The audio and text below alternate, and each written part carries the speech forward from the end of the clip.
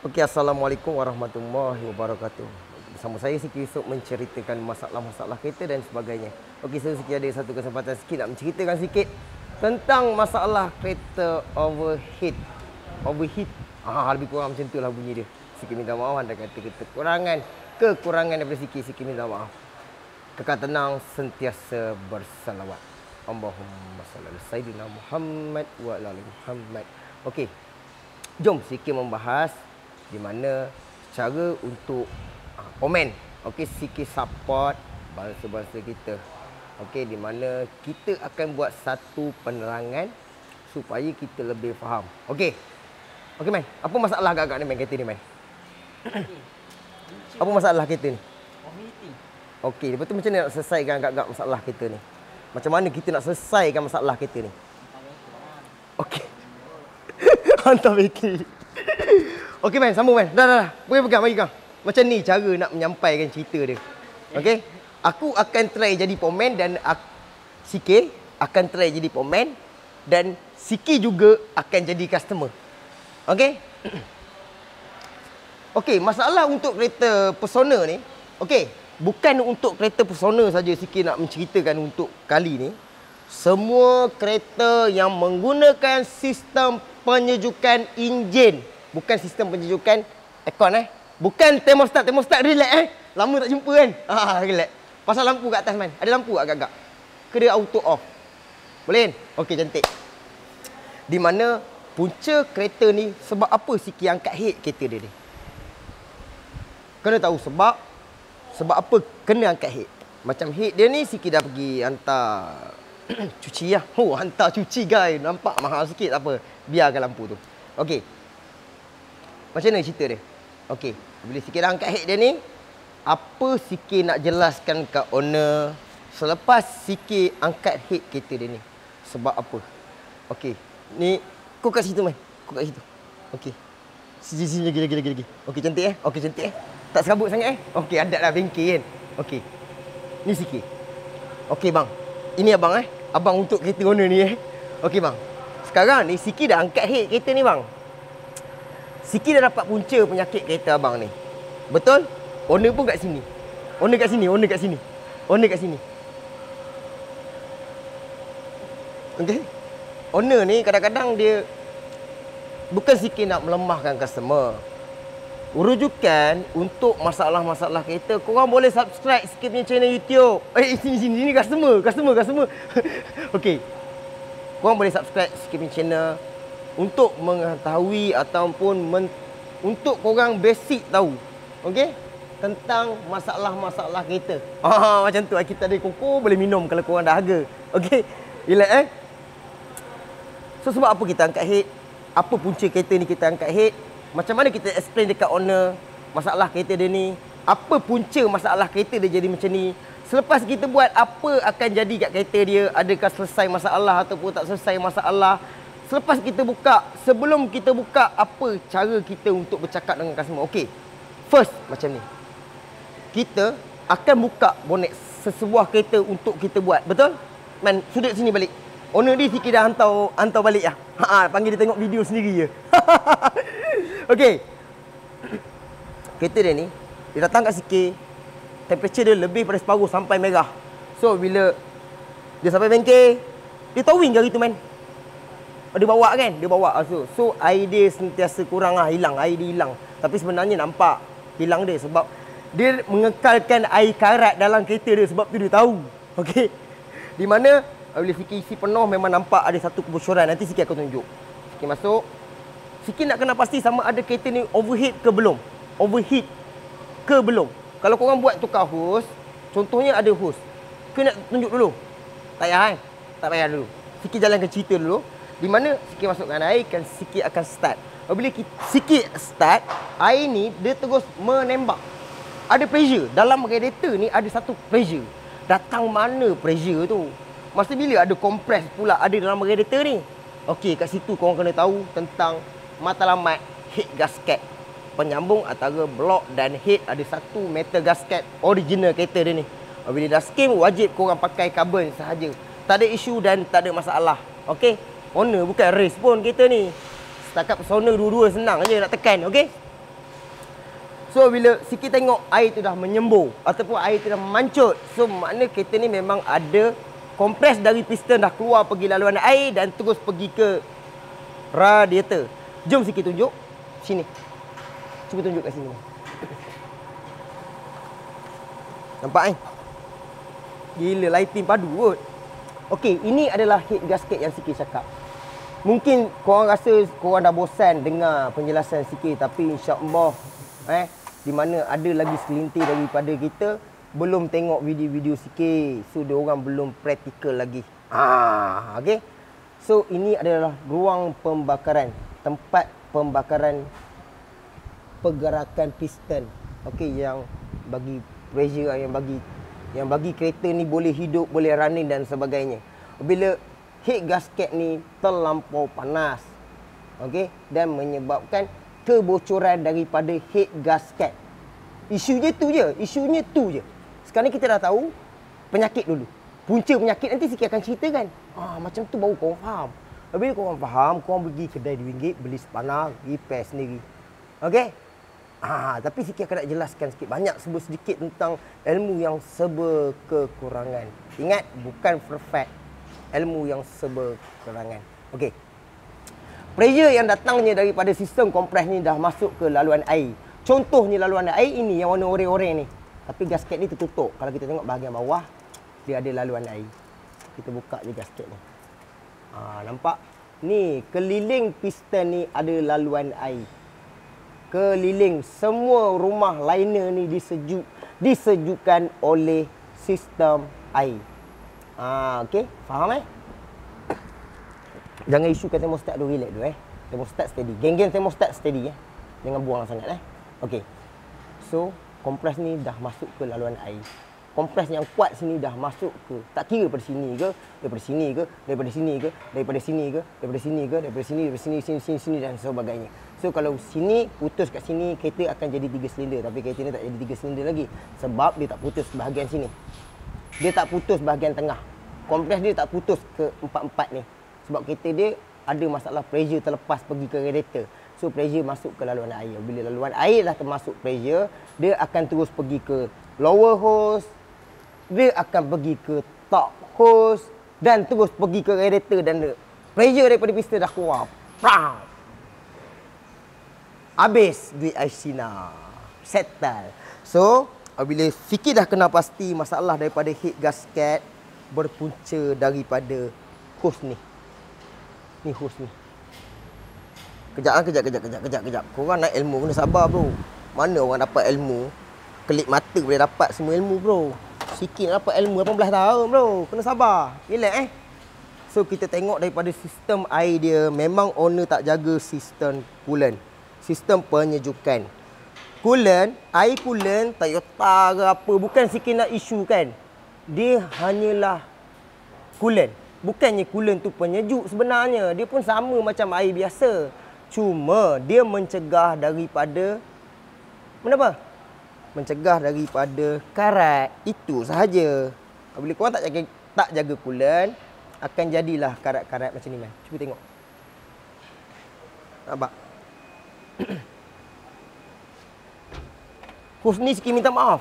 Sikit kena tunjuk kat depan owner. Daripada orang-orang yang tengok pun boleh tengok sekali video sikit. Boleh tengok buat rujukan. Berapa lama host ni korang kena tukar. Berapa lama korang kena pakai Berapa lama korang nak jimatkan kos tak nak tukar paip ni? Okey, nampak? Ha ni. Ni. Jelas mai. Cuba tekan kat itu. Jelas kan?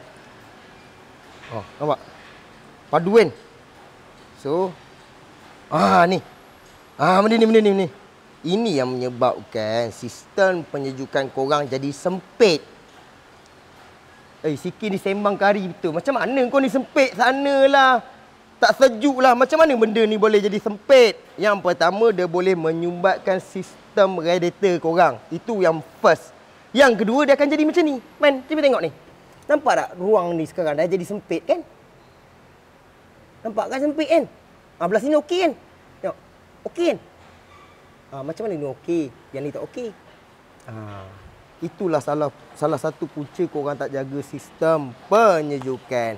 Tengok radiator dia pun memang teruk. Memang kena suggest kat owner ni kena buat sistem penyejukan kereta dia.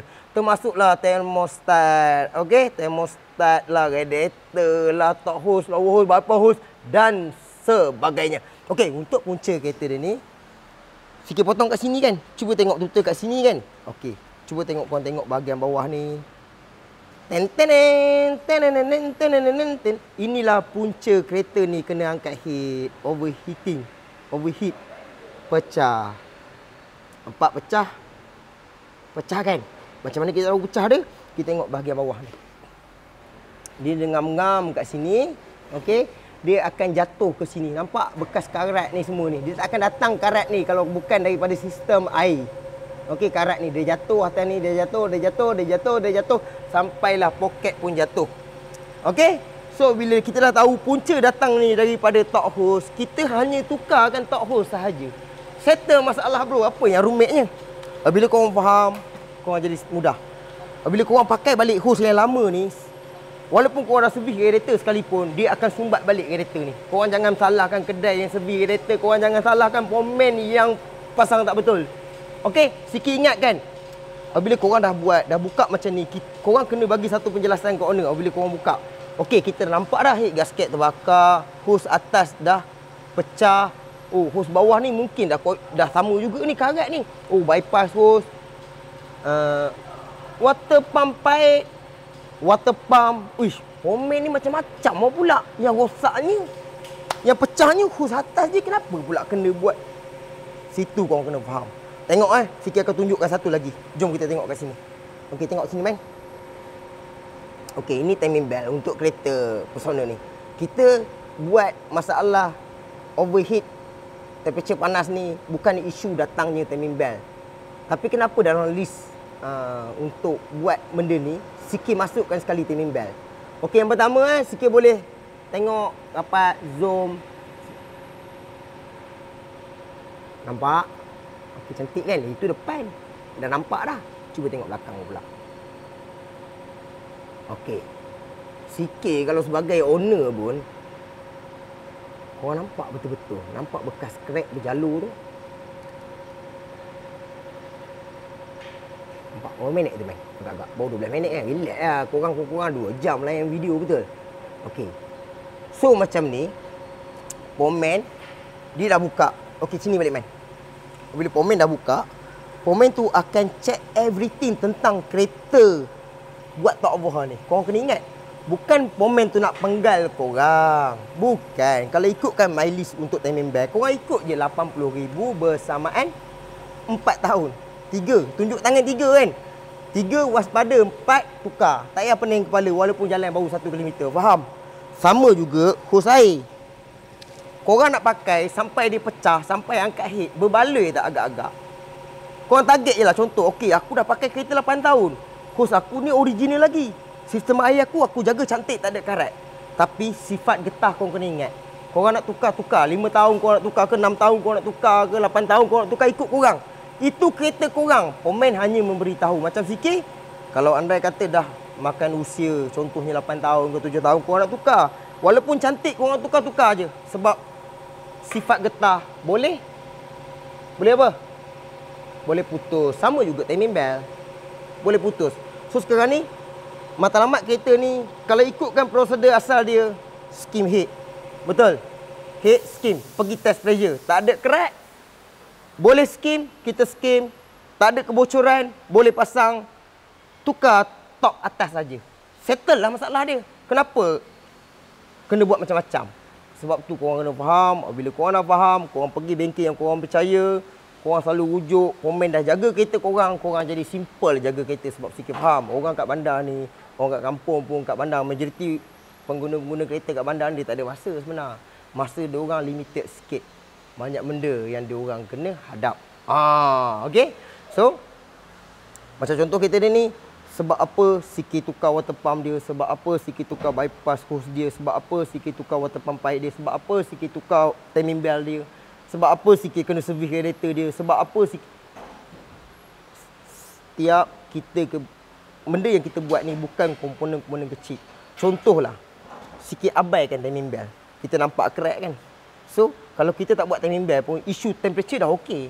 Dah okey dah pun, tak ada masalah pun. Tapi untuk jangka tempoh akan datang, timing belt tu putus, head ni akan angkat balik. Head ni kena angkat balik valve 16 biji bengkok. Komen-komen lah. Paling kuat 8 biji, 16 biji biasa untuk game pro.